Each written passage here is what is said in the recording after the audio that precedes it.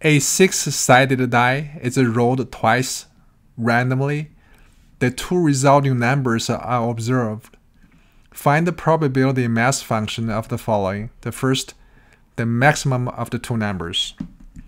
Now, let x1, x2 be the two numbers that we observe, and we want to find the probability mass function of the maximum of x1 and x2. And let's call this maximum y, okay? So first let's figure out the range of y, or the possible values of y. Because x1 and x2 each ranges from 1 to 6, and it's easy to see that the maximum for the two numbers is also from 1 to 6. So to compute the probability mass function, uh, we want to compute the probability y is equal to k for any k belongs to the range of y. Now let's just let's do it in two different ways. Um, the first the first way is simple but it's tedious. Uh, let's say we want to compute the probability y is equal to 3, right? Just one example. Now, if the if the maximum of the two is 3, so what are the possible values of x1 and x2? So let's see. x1, x2. So let's, for example, if x1 is 3, x2 is 1, then the maximum would be 3. And 3 and 2 also works. Then we can also have 3, 3, um, let's say um, 1, 3, 2, 3, right? So all these five combinations work. These are all the possible values of x1 and x2 such that the maximum of the two number is 3. Now, how many combinations of x1 and x2 in total? Because x1 can take 6 values, x2 can also take any of the 6 values. So the total number of combination of x1 and x2 is 36. So there are 36 different combinations of x1 and x2. And out of these 36 combinations, 5 of them have a maximum value of 3. So the probability y is equal to 3 is equal to 5 over 36. Okay, now let's try a different way. So suppose instead of calculating probability that y is equal to 3, we're going to first calculate the probability y is less than or equal to 3. So this is equal to the probability the maximum of x1 and x2 is less than or equal to 3. And this is equal to probability x1 is less than or equal to 3 and x2 is also less than or equal to 3. Why is this true? Because if the maximum of the two numbers is less than or equal to 3, each individual ones must be less than or equal to 3.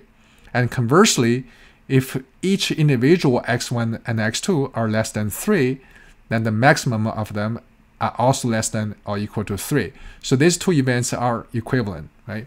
So now this is equal to the probability x1 is less than or equal to 3 times probability x2 is less than or equal to 3. This is because x1 and x2 are independent. So this is equal to 3 over 6 times 3 over 6. So because there are 6 numbers, so the probability that a row is less than or equal to 3 is equal to 3 over 6. Now similarly, we can compute the probability y is less than or equal to 2.